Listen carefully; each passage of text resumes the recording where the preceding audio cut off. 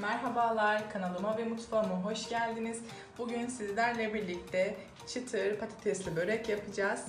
Hemen sizlere yakından da göstermek istiyorum. Çıtır çıtır şahane bir lezzet oldu. Umarım videomu beğenirsiniz. İyi seyirler.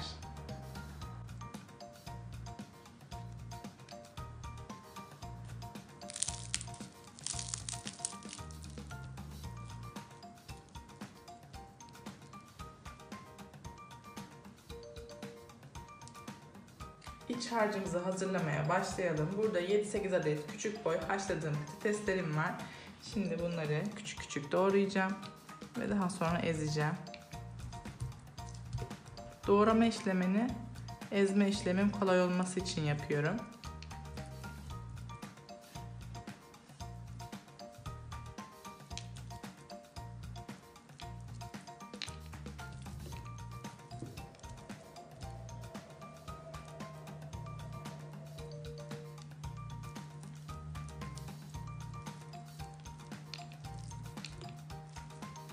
Üzerine bir tatlı kaşığı toz biber ilave ediyorum. Bir tatlı kaşığı kadar da tuz ilave ediyorum. Son olarak bir çay kaşığı da karabiber ekliyorum. Bir patates ezici yardımıyla patateslerimi iyice eziyorum.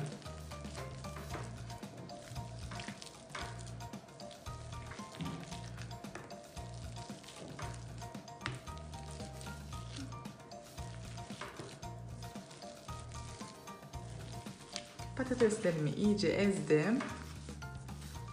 Şimdi soğanlı kısmını hazırlayacağım. Tavaya yarım çay bardağı kadar sıvı yağ alıyorum. Üzerine bir tane orta boy robotta iyice çektiğim ya da iri iri doğradığınız soğanı ekleyin. Orta ateşte soğanlarımı iyice soteleyeceğim. Soğanlarımı iyice kavurdum. Şimdi üzerine bir tatlı kaşığı biber salçası ekliyorum ve tekrar salçanın kokusu çıkana kadar kavuruyorum. Soğanla birlikte salçayla kavurduktan sonra iyice püre haline getirdiğim patateslerimi soğana ekliyorum. Çok lezzetli. Mutlaka denemenizi tavsiye ederim.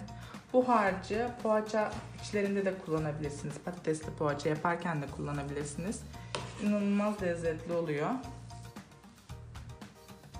Patatesle de birlikte 5-6 dakika daha kavuracağım ve ocağın altını kapatacağım. İç harcım hazır hale gelecek.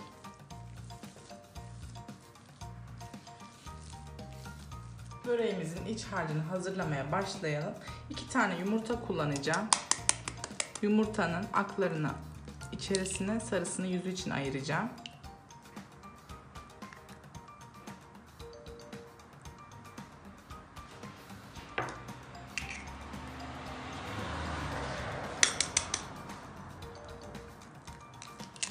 İki tane yumurta akı kullanacağım iç harcı için.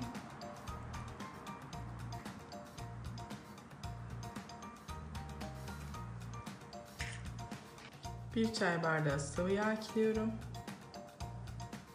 Ve bir şişe maden suyu ekliyorum. İyice karıştırıyorum. Çok lezzetli bir börek sosu. Her türlü börekte bu sosu yapabilirsiniz. Çıtır çıtır börekler elde edersiniz. Bir tane yufkamı aldım ve tezgaha seriyorum.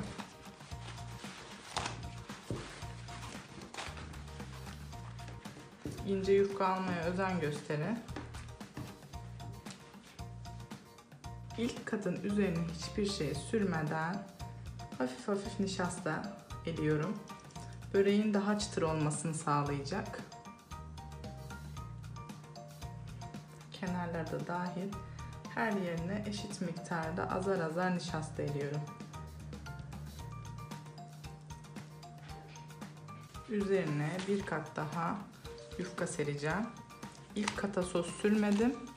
İkinci kata süreceğim sosu.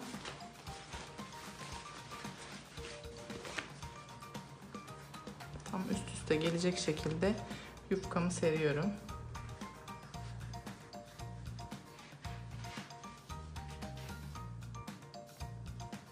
Sosumdan yufkanın her yerine döküyorum. Bolca. Sosu dökmekten hiç korkmayın.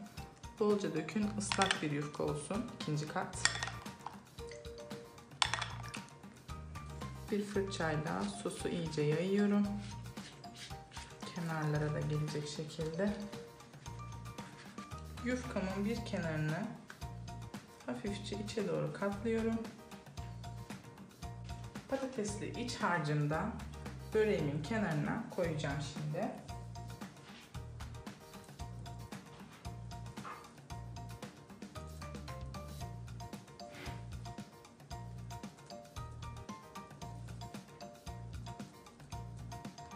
Yufkanın kenar kısımlarını iç kısma doğru katlıyorum. Ve sarıyorum.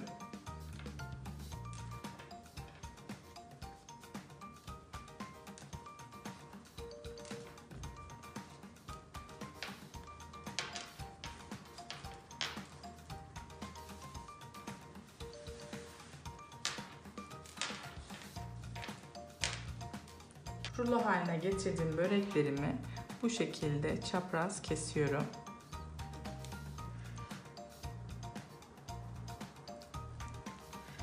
Her defasında bıçağınızın ucunu silin ki lekeler oluşmasın.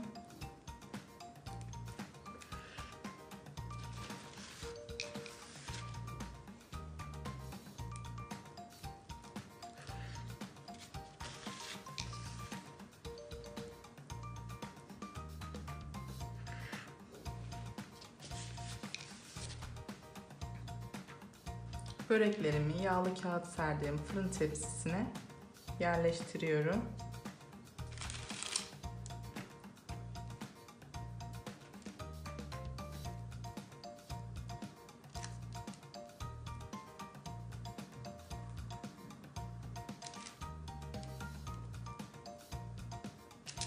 Böreklerimi fırın kağıdı serilmiş tepsiye yerleştirdim ve üzerlerine yine soda gezdiriyorum. Çok az, fazla değil. Daha çıtır olmasını sağlayacak.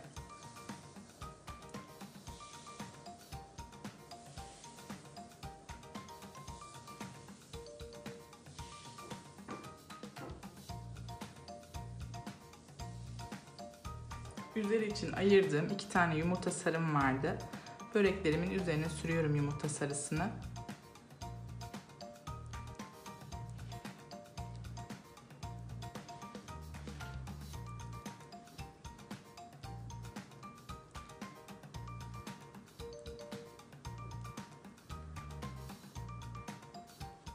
Üzeri için galeta unu kullanacağım. İsterseniz susam, çörek otu vesaire de kullanabilirsiniz.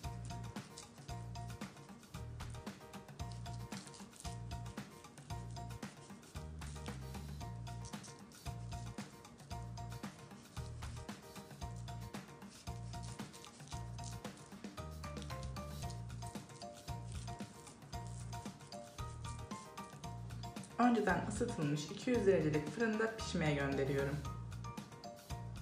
Böreklerim pişti. Gördüğünüz gibi nar gibi kızardı. Sizlere yakından da göstermek istiyorum.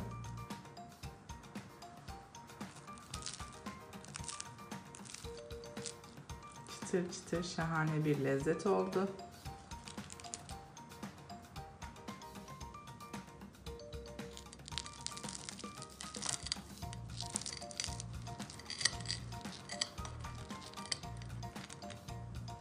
Çıtır çıtır şahane bir tarif oldu. Hemen servis tabağına alıyorum böreklerimi.